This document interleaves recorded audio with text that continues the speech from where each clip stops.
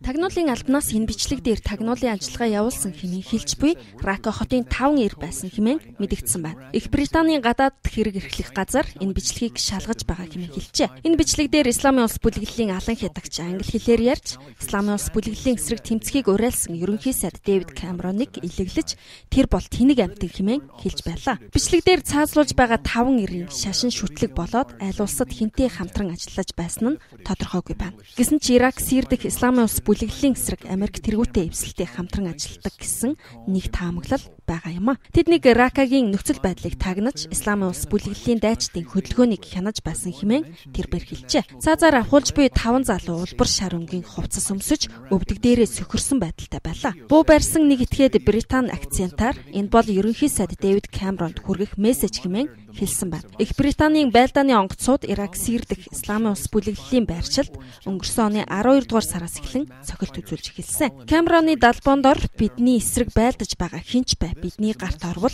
юу болохыг тунгаах хэрэгтэй хэмээн хар хувцастай террорист гэдгээд хэлжээ. Мөн тэрээр 5 эрийг хөнөөхийнхөө өмнө Исламын улс бүлэглэл Их Британийн эсрэг террорист ажиллагаа явуулна хэмээн занл хийсэн байна.